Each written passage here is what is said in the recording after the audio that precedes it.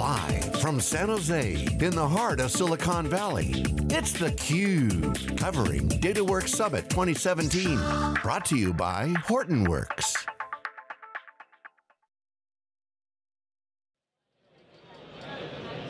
Hi everybody, this is George Gilbert.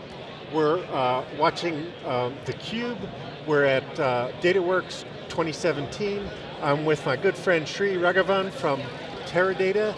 And Sri, let's kick this off. Uh, tell us, bring us up to date with what Teradata's been doing in the era of big data and advanced analytics. First of all, George, it's always um, great to be back with you. I've uh, done this before with you and it's, uh, it's a pleasure coming back and uh, I always have fun doing this. So thanks Good for having have me and uh, Teradata on the, on the cube. So a lot of things have been going on in Teradata. As you know, we, um, we are the pioneer in uh, the enterprise data warehouse space. We've been so for the past 25 plus years and you know, we've got an incredible amount of goodwill in the, in the marketplace with a lot of marquee customers and all that. And as you also know, in the last um, you know, uh, five or seven years or so, between five and seven years, we've actually expanded our portfolio significantly to go well beyond the enterprise data warehouse into advanced analytics.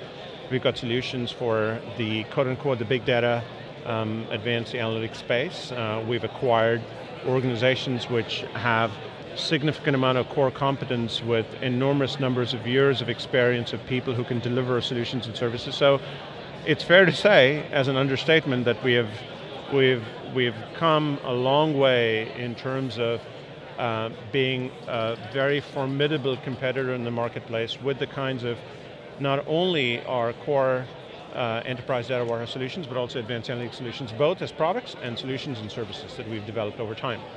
So, um, I was at the Influence Summit, Summit, not this, this year, but the year before, and the thing, what struck me was you guys articulated very consistently and clearly the solutions that people build with the technology, as opposed to just the technology. Um, let's pick one, like customer journey that I, I, I, remember that was used last year. Right. And tell us sort of what are the components in it and, and sort of what are the outcomes you get using it? Sure.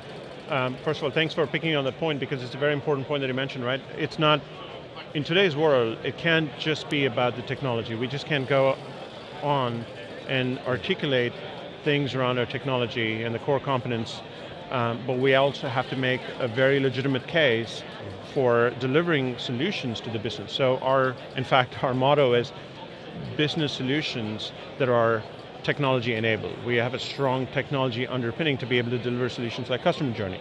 Let me give you uh, a view into what customer journey is all about, right? So the idea of the customer journey, it's actually pretty straightforward. It's about being able to determine the kind of experience a customer is having as she or he engages with you across the various channels that they do business with you at. So it could be directly they coming to the store, it could be online, um, it could be through snail mail, email, what have you. The point is not to look at customer journey as a set of disparate channels through which they interact with you, but to look at it holistically. Across the various areas of encounters that they have with you and engagements they have with you, how do you determine what their overall experience is? And more importantly, once you determine what their overall experience is, how can you have certain kinds of treatments that are very specific to the different parts of the experience and make their experience and engagement even better? Okay, so let me jump in for a second there. We've seen a lot of marketing automation companies come by and say, you know, or, or come and go, having said over many generations, we can help you track that. And they all seem to like target either ads or email or Correct. there's like the, the touch points are constrained. Yeah. How do you how do you capture a broader, yeah. you know, a broader journey? Yeah, to me it's not just that touch points being constrained, although all the touch points are constrained. To me it's almost as if those touch points are looked at very independently. It's very orthogonal to it, right? I, I look at only my online experience versus a store experience versus something else, right? And the assumption in most cases is that they're all not related. You know, sometimes I may not come directly to the store, right? But the reason why I'm not coming to the store is because uh, to buy things, because you know I have seen an advertisement somewhere which says, look, go online and purchase a product, or whatever the case might be. Point is, each part of the journey is very interrelated and you need to understand this as well. Now, the question Yeah. that you asked is, how do you, for instance, collect all this information? Where do you store it?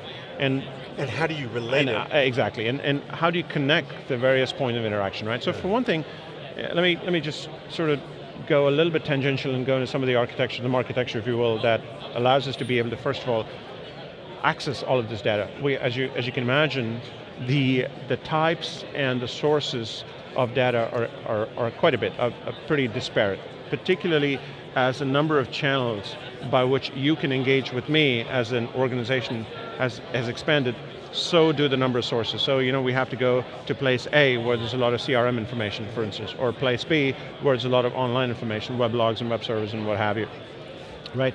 So we have to go to, for instance, some, some of these guys would have uh, put all this information in a big data lake, or they could have stored it in an EDW, in an enterprise data warehouse. So we, we've put in place a technology, an architecture, which allows us to be able to connect to all these various sources, be it Teradata products or non-Teradata third-party sources, we don't care. We have the capability to connect all to, to these different data sources to be able to access information. That's number one. Number two is how do you normalize all of this information? So as you can well imagine, right, web log servers are very different in, in their data makeup as opposed to CRM solutions, highly structured information. So we need a way to be able to bring them together to connect a singular user ID across the different sources. So we have filtering, you know, data filters in place that extracts information from web logs. Let's say it's a it's a XML file. So we extract all that information and we, we connect it. We, ultimately, all of that information comes to you in a structured manner. And can it can it be uh, real-time reactive? In other words, when Absolutely. someone comes to Absolutely. you know uh, a channel where where you need to anticipate and influence. Very good question. In fact, I think we will be doing a big disservice to our customers if we did not have real-time decisioning in place. I mean, the, the whole idea is for us to be able to provide certain treatments based on what we anticipate your reactions are going to be to certain, let's say, if it's a retail store, let's say to certain product coupons we've placed, which says, you know, come online, and based on your behavior, we think there's a 90% chance that tomorrow morning you're going to come back on, you know, through our online portal and buy the products. And because of the fact that our analytics allows us to be able to predict your behavior, tomorrow morning, as soon as you land up on the online portal, we will be able to provide certain treatment to you that takes advantage of that. Absolutely. Techie question. Because you're anticipating, does that mean you've done the prediction runs Absolutely. batch? And, Yeah, yeah. And so you're just serving up the answer. Yeah, the, the business level answer is absolutely, in fact, we have, as part of our advanced analytics solution, we have pre-built uh, algorithms that take all this information that I talked to you about, where we've connected all the information across the different sources, and we apply algorithms on top of that to be able to deliver predictive models. Now, these models, once they're actually applied as and when the data comes in, you know, you can operationalize them. So the, the thing to, to be very clear here, a, a key part of the Teradata story, is that not only are we in a position to be able to provide the infrastructure which allows you to be able to collect all the information, but we provide the analytic capabilities to be able to connect all of the data across the various sources and at scale, to do the analytics on top of all that disparate data, to deliver the model, and as an important point, to operationalize the model, and then to connect it back in the feedback loop. We do the whole thing. There's, there's, there's a lot to unpack in there. And I called our last guest dense, but I was actually trying to say we had to unpack a dense answer. Um, so it di- didn't come out quite that quite right. Um, so That's I a- won't make that mistake. That's a very you. backhanded compliment there. So explain to me though, that I know from, from all the folks who are trying to uh, embed predictive analytics in their solutions, the, the operationalizing of the model is very difficult. Yeah. You know, to integrate it with the system of record. Yeah, yeah, yeah. How do, you know, how Yeah. do you guys do that? It's a good, good point. There are two ways by which we do it. One is we have something called the uh, App Center. It's called the Teradata App Center.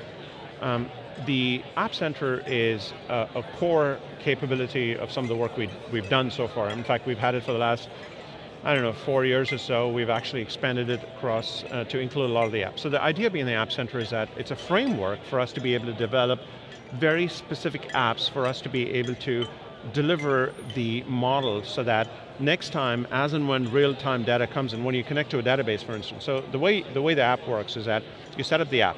There's a code that we've created. It's all pre-built code that you put behind the app.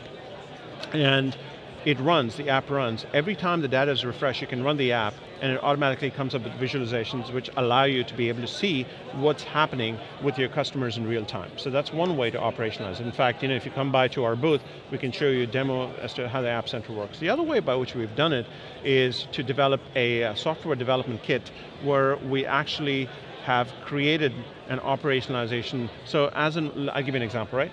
We developed an app um, a real-time operationalization app where the folks in the call center are assessing whether you should be given a loan to buy a certain kind of car, used car, brand new car, what have you the case might be.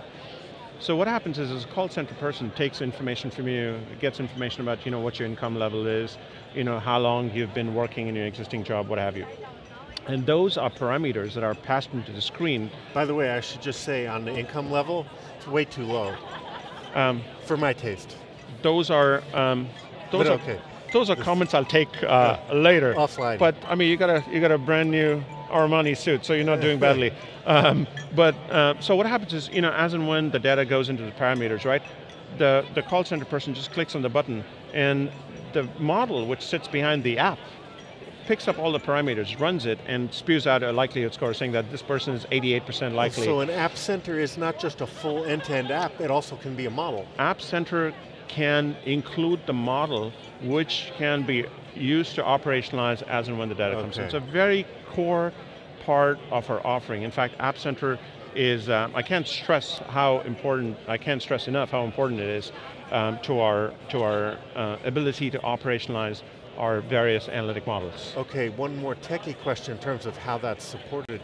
Um, is, is the App Center running on Aster, or the models, are they running on Aster, uh, the old uh, Aster database, the, or, or um, database? Well, just to be clear, right, um, so the, the Aster um, solution is called Aster Analytics, of which one form factor contains a database, but you have Aster, which is on Hadoop, you have Aster on the cloud, uh, you have Aster software only, um, so there's a okay. lot of difference between the two, right? So App Center sits on Aster, okay. but right now, it's not just the Aster App Center, it's called the Teradata App Center, which sits on, uh, the idea is that it will sit on, on Teradata products as well. Okay. So again, it's a really core part of our evolution that we've um, come up with. Um, okay. We're very proud of it. On, on that note, we have to wrap it up for today, but to be continued. Time flies when you're having fun. Yes. So, this is George Gilbert. Um, I am with Sri Raghavan from Teradata. We are at DataWorks 2017 in San Jose, and we will be back tomorrow with uh, a whole lineup of uh, exciting new guests. Uh, tune in tomorrow morning. Thanks.